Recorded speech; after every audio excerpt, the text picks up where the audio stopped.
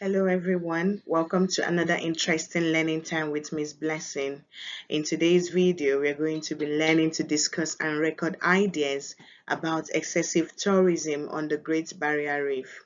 In my last video, we had a debate on if tourism is good or not for the Great Barrier Reef.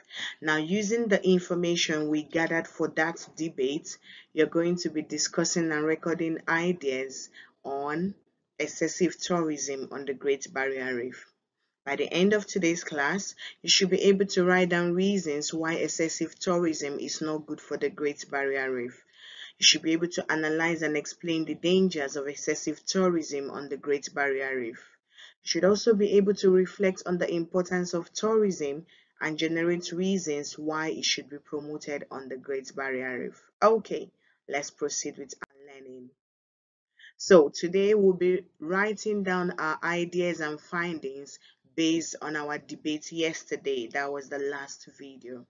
Choose any one of these two tags below. The first one says, write a letter to your teacher explaining why tourism is good or bad for the Great Barrier Reef. In the last video, we learned about debate, we learned about the features of a debate, and we had a written debate. Now today we are going to be writing a letter to our teacher explaining why tourism is good or bad for the Great Barrier Reef or design a poster showing why tourism is good or bad for the Great Barrier Reef. A letter written to someone in position of authority such as the teacher is called, pause the video, have a go. A letter written to someone in position of authority such as the teacher is called Welcome back. I bet you said formal letter. If you said a formal letter, then a big thumbs up to you. Now, what are the features of a formal letter?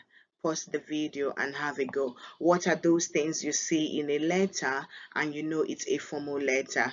Pause the video right now and have a go. Welcome back. Now let's see some of the features of a formal letter. A formal letter has the address of the sender and date that the letter is written, the address of the receiver, it has the greeting, what is the name of your teacher, dear Miss Blessing, dear Miss Jane, dear Mr. Paul, write the name, um, the greeting to the person in authority you are writing to and in this instance remember you're writing to your teacher. So first we have your address we have the date and then we have the address of the teacher and greeting to the teacher. And here in the middle at least three paragraphs makes up the body of the letter. Here you'll be telling the teacher why you feel excessive tourism is not good for the Great Barrier Reef, at least three points. When you are done explaining your feelings and your thoughts on the topic given, then your salutation, your sincerely, your name again, your class and the name of your school. Sometimes we don't write the name of the school anymore down here. We just write yours sincerely, which is the salutation, your name and your class. So this is the characteristics or the features of a formal letter. Now, if you choose to make a poster, what am I expecting to see in your poster? If you choose to do letter writing, I'm expecting to see this format. But if you choose to make a poster, I expect to see what? Short, snappy sentences or phrases expressing how you feel about the topic given. An eye-catching layout. The layout should be beautiful. You should, you should beautifully design it. A catchy slogan. The slogan is the word or the heading that gets the attention of the reader. So your poster should have a catchy slogan. It could be excessive tourism on the Great Barrier Reef.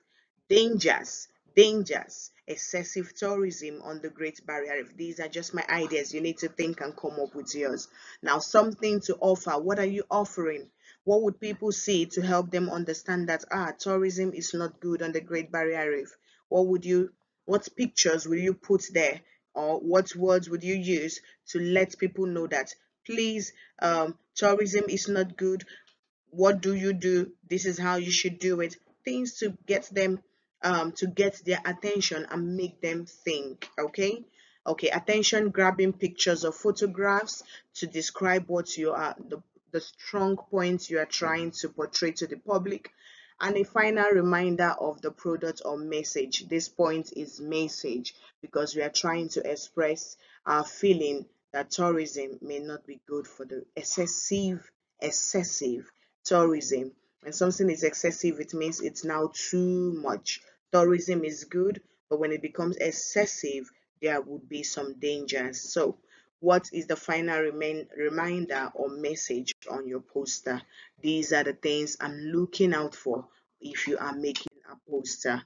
So, once again, choose any of the tags below. You either write a letter to your teacher explaining why tourism is good or bad for the Great Barrier Reef or design a poster showing why tourism is good or bad for the Great Barrier Reef. Hope you understood today's lesson. Let me know how you felt about it and I will see you in my next video. Don't forget to like and subscribe. This is me saying bye for now everyone. See you in the next video.